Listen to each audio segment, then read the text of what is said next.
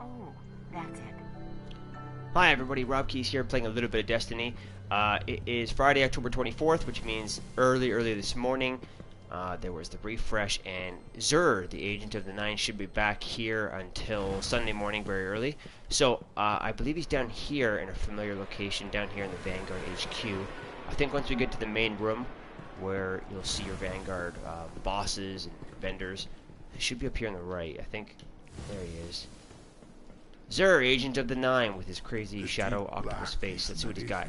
I bet it's all familiar stuff. Lonely. I don't think they have that many uh, exotic items. Yeah, so like I already have all of these. Um, actually, I have a different exotic chest piece for my Titan, and um, I don't think I have this one. I have the raspberry one, which he sold previously. What does this one do?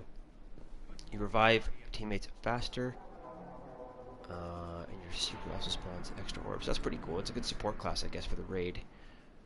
We're doing strikes, uh, and it, it's catered towards hand cannons. It's a cool logo. I love the friggin' wolf with the eagle wings in the chest.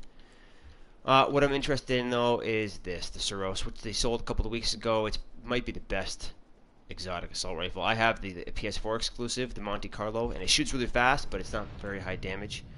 Um, so I'll pick up this since I have enough strange coins in this character. There we go. Suros Regime, and I'll buy one of these just for fun too, because I have lots of. Trained. So let's go to everybody's favorite pawn shop, the Cryptarch, and see what sort of gloves I get. I don't really need gloves. I actually have on this character. I'll bring it up real quickly. I actually have the raid gloves, uh, Prime Zealot gloves, and I have an exotic helmet. And if I go to my vault, I actually have all three exotic helmets for the hunter class. But this one, the one I have now currently, lets me have four shots with the golden gun. You can see the other two here. So this one's good if you're going to use the arc blade. Uh, I don't use that subclass very much, even though I have it all leveled out. Um, I'm more of the gunslinger, and you need to use the gunslinger more in the raid. And there's this one, of course, which lets you maintain uh, vision, like you can see your radar minimap thing as you're looking down the sights of any gun. So that's awesome. Uh, but still, not as good as having that fourth golden gunshot. And that's the lucky raspberry armor I was talking about. Unfortunately, the one I think is the best happens to be the ugliest. Look at this thing. It looks like just some weird growth on a normal helmet, so it's really it's a shame it's so freaking ugly. Anyways, so uh, I won't be using the gloves for this class. Maybe I'll get Titan gloves. Who knows? We'll see.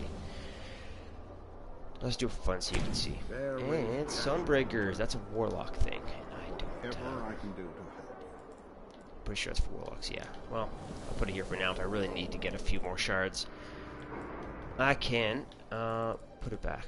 But anyways, I have tons of motes of light. They're pretty easy to get. Uh, you get them just for leveling up. Once you're maxed out, every subsequent level you get uh, another one, another mote of light, and you can get them from uh, doing daily public events, and sometimes you can even get them from loot chests and all sorts of stuff like that. But anyways, thanks for watching. Uh, I'll try to throw this up on YouTube if the sound works. And so there you go. That is the Agent of the Nine Xur location for the weekend of October 24th to the 26th. And uh, we'll see you next time. Cheers.